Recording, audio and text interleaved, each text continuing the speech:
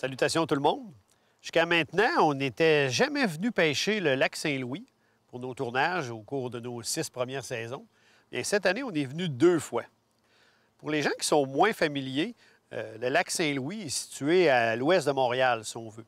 C'est un élargissement du fleuve Saint-Laurent qui est assez particulier. D'une part, il y a une partie du lac, tout le côté sud, où c'est de la belle eau claire, parce que c'est vraiment l'eau du fleuve qui arrive des Grands Lacs. Mais du côté nord du lac, il y a un petit bout de rivière des Outaouais. Je dis ça comme ça parce qu'en fin de compte, on a la rivière des Outaouais qui arrive, qui forme un élargissement, qui est le lac des Deux-Montagnes. Ensuite, il y a un petit bout de rivière des Outaouais, ça se jette dans le lac Saint-Louis. Donc, dans ce secteur-là, l'eau est beaucoup plus foncée. C'est la teinte d'eau de la rivière des Outaouais. Fait que c'est ce qui euh, fait que c'est entre autres que c'est un plan d'eau euh, particulier, le lac Saint-Louis.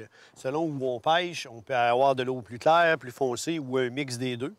Pour y accéder, bien, je suis embêté de vous dire euh, allez à telle rampe de mise à l'eau ou telle rampe de mise à l'eau ou telle rampe de mise à l'eau parce que les réglementations changent d'année en année. Vous le savez, au Québec, on a un gros, gros, gros problème avec ça.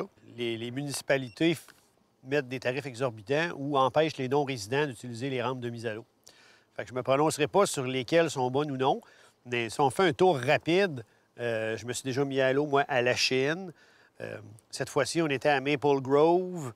Euh, Il y, a, la rivière Châteauguay, il y a Sainte-Anne-de-Bellevue. Euh, il y en a un petit peu tout le tour du lac des rampes de mise à l'eau. Mais je vous suggère fortement de prendre des informations, peut-être via les médias sociaux ou en appelant euh, les municipalités en question pour s'assurer que la rampe de mise à l'eau où vous comptez mettre votre embarcation à l'eau est accessible pour les non-résidents.